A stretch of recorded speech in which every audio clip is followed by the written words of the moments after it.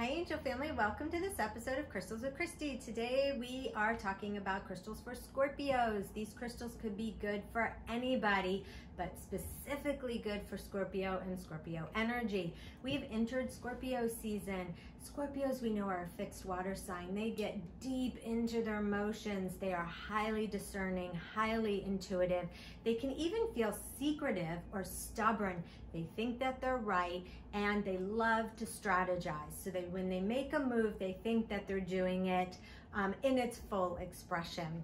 You might notice that this um, one of the signs for Scorpio is a scorpion. You could get stung by its poison, right? Um, if you're not careful. But the highest octave of a Scorpio is the eagle. They have eagle eye vision. Um, they're very discerning and they can focus on what they want. All great things. These are crystals that are gonna help support our Scorpio, or if you want to harness some of the Scorpion energy, these are gonna be great for you. Malachite. Malachite is a beautiful one for helping you balance your emotions.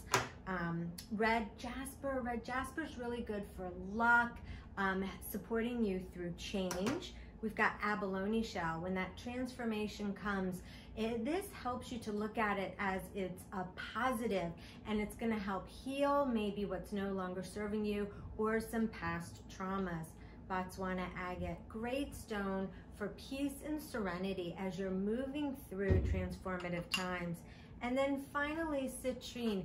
Citrine allows our Scorpios and anybody to step into what they want um, to manifest with confidence so you don't get overtaken by your emotions or by overthinking. This really helps you to step into your power, taps into your solar plexus so you can trust uh, that you're moving forward doing exactly what you need to do. Happy birthday to my brother who's turning 60. He is a Scorpio and my dad who's in heaven. He is also a Scorpio. On Halloween is his birthday, so my yoga class, which falls on Tuesday this year at 9.30 will be free to all to celebrate my dad. It is our present to all of you. Thank you for watching this episode of Crystals with Christy, and we'll see you next time.